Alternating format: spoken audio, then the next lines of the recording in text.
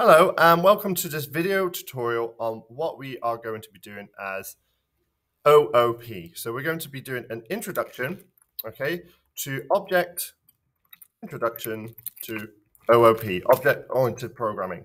Now, as a programmer, if you've done a little bit of programming in Python before, you may uh, have used data structures such as lists. So for example, I may have used a list which has got my name, and I may include information like Raymond, and we're going to go 36, and he's a teacher.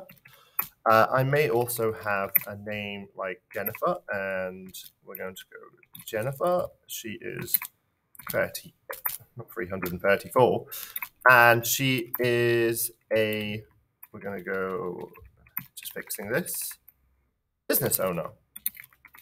Now, using lists and arrays is okay on a small scale, but when you've got a large amount of data or you've got a larger scale of information, one thing that you've got to be aware of is this can get a bit cumbersome. It can get a bit problematic because if you're using an index like position zero, position one, position two, and so on, but you've got larger data sets, it can start to get overwhelming and difficult for the programmer.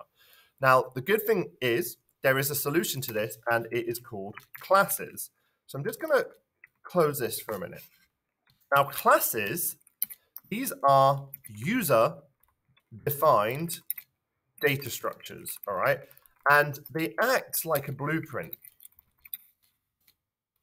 Now, I'm obviously going to show you what these are in this video, but they act like a blueprint. And the idea is that you can control the properties like their name, their age, their address, all of those things within it, and then you can actually refer to them and be specific about changing maybe their name, changing their age, and you can reuse that blueprint.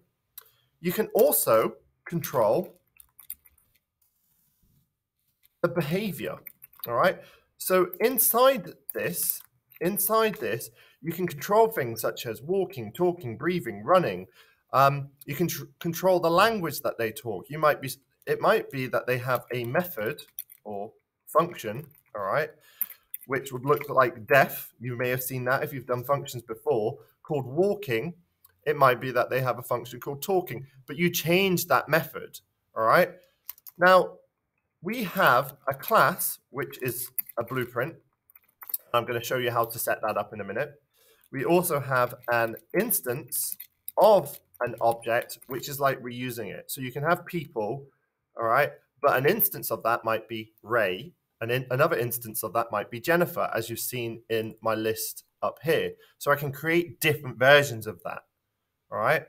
The thing about the instance is the instance of it contains the real data. All right.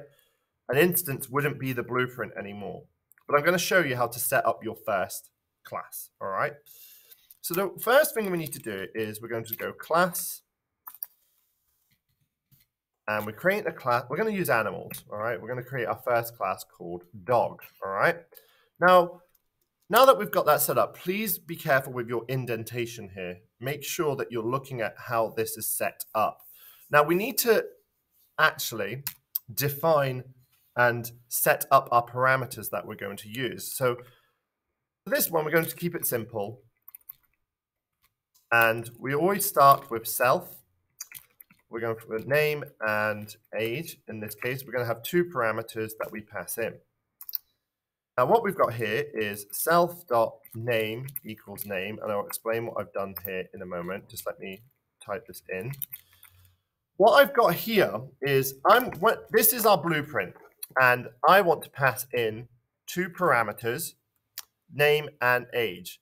These parameters that are passed in will be stored within the class using self.name. So what if that was called Ray, that would be Ray. If that was called 36, that 36 would be passing in there. All right. Now, to use this, this is our blueprint. But if we want to create an instance of that, I can then, so I'm going to have a, a dog and I'm going to create an instance called Pedro. Okay, so Pedro, okay, is dog and we're going to pass his name in there and Pedro is seven.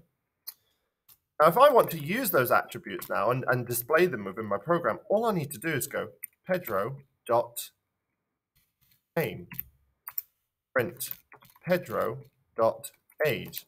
So let's see if that works. All right. Can you see I've got it's showing me Pedro and seven. So I'm using this class as a structure. All right. I'm going to do another one now. I'm going to create a dog called Bob. All right. Bob is dog, and we're going to pass his name in Bob. Bob is going to be free. Okay. We're going to go print Bob dot name print Bob dot age. Now we pass that in. All right. Now, in some cases, you may want to default so that the class has some fixed variables, if you like. We have some fixed attributes that are not changed. Um, you will be able to change them, but they're like your default setting. So I could assume that I'm working with Labradors. So what I could do is I could set up species equals Labrador. So by default, all of my dogs in my program are this is going to be a program all about Labradors, okay? So watch what happens when I do print Pedro dot species. So you can see I'm using that there. Let me make sure I put my string around that. Can you see? Pedro is a Labrador, all right?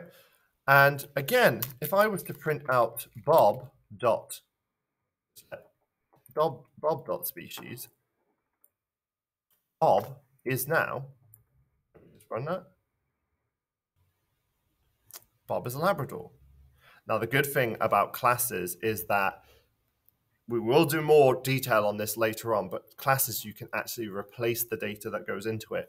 So I might not want one of these dogs to be a Labrador. I might have changed my mind and in my veterinary service, I've decided I, I'm I'm not going to exclude other dogs. I want to make sure I've got others. So what I'm going to do here is I'm actually going to change this. So Bob is going to be a pug. Bob dot species equals pug. All right. So you can actually change the information I could even change his name again if I wanted. I, so, but we're going to go for, let's get rid of that at the moment. We're going to print Bob, make sure, print Bob dot species. And what should happen this time is it should have changed Labrador to a pug. So let's see if that's worked. There you go. Bob is now a pug. And the great thing about it can you see if I had to work with this list here, I would have to change this to a zero, this to a one, this, I would have to work with the index. The great thing about this is all I need to do is pick the specific attribute that I want to change. All right, so just as a quick summary, we have our class, which is like our blueprint, but we can reuse that.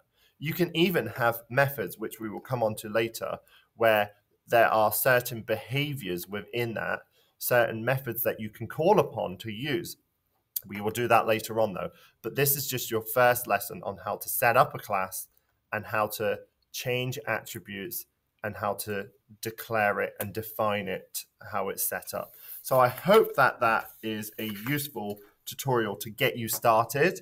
What we will do in our next tutorial is I will show you how to set up some methods as part of this. All right.